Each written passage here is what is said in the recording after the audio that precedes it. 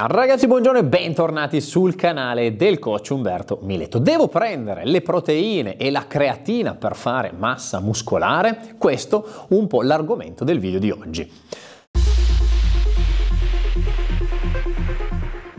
Non sapete quante volte ho ricevuto queste domande? E in special modo questa domanda mi viene fatta da soggetti poco esperti e generalmente soggetti giovani, ma secondo me anche perché vedono tutti questi influencer sempre con i biberoni e prendono creatine, prendono proteine, prendono questo e prendono quell'altro e allora questi ragazzi giovani ovviamente non ancora esperti del settore, non conoscono la materia, ovviamente non sanno se quello che gli stanno proponendo sia la realtà oppure è fatto per diciamo veicolare determinati codici sconti che questi poi influencer eh, riciclano. No?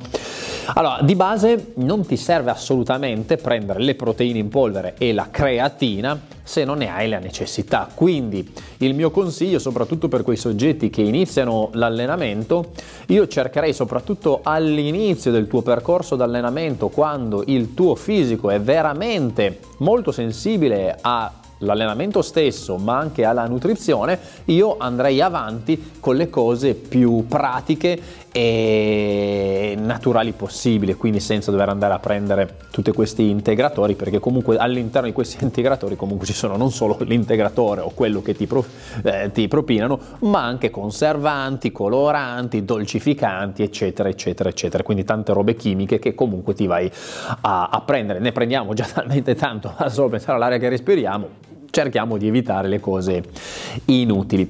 Ecco, non sto dicendo che le proteine in polvere e la creatina siano inutili, sto dicendo che in un percorso ragionato all'inizio cercherei di dare priorità al buon allenamento e all'alimentazione costruita in una maniera tale che possa andare a soddisfare le tue richieste energetiche per soddisfare i tuoi obiettivi e i tuoi allenamenti. Questo secondo me è sempre la base.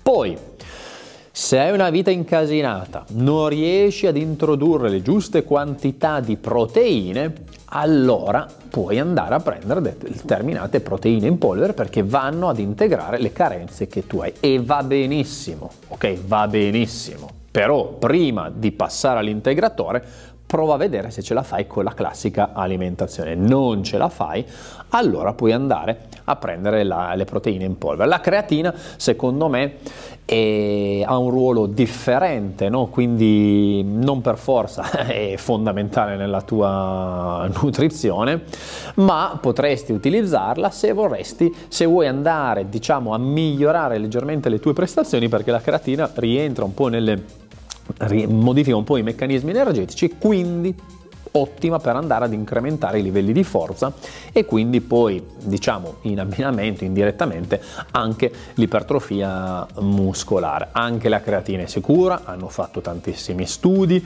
eh, punterei sulla classica creatina monoidrata senza inventarmi di andare a prendere creatine che ti fanno solo spendere tanti soldi inutili.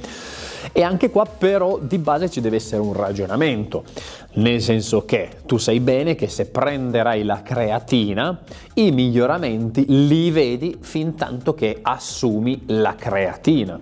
Ok, questo deve essere chiaro. Quindi o decidi di prendere la creatina tutta la vita o se no a un certo punto tra tre mesi quando smetti quei piccoli miglioramenti che ti ha dato la creatina 2 kg in più sul bilanciere 3 kg in più sul bilanciere eh, che ne so eh, mezzo chilo di peso corporeo, un chilo di peso corporeo, tu devi sapere che quando interrompi quella, quel beneficio va via. Ok, questo è per forza di cose, no? non, non, nascondiamoci, magari non va via subito, ma nel giro di tre mesi quei benefici li vai a perdere.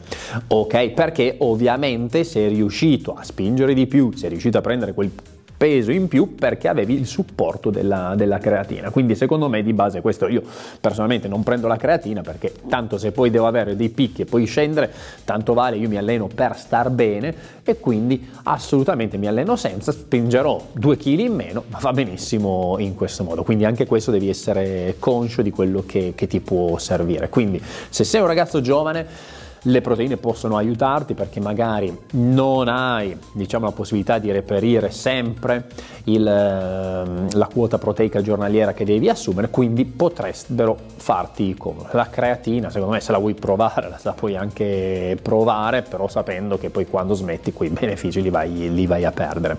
Ok, questo un po' quello che volevo dire in relazione alle proteine e alla creatina per la, passa, per la, massa muscolare. Non sono fondamentali, puoi crescere muscolarmente anche senza proteine in polvere e creatina purché tu devi andare a modulare bene la tua, la tua, dieta e ovviamente dovrai sempre darci dentro con gli allenamenti. Quindi non seguire troppo le persone che ogni, in ogni occasione sono lì a propinarti integratori, ce la puoi fare andando ad organizzare bene una dieta sana ed equilibrata con quello che la natura ci offre e andando ovviamente ad organizzare al meglio i tuoi allenamenti. Come sempre grazie per l'attenzione, spolliciata per il coach e ci si vede alla prossima. Ciao!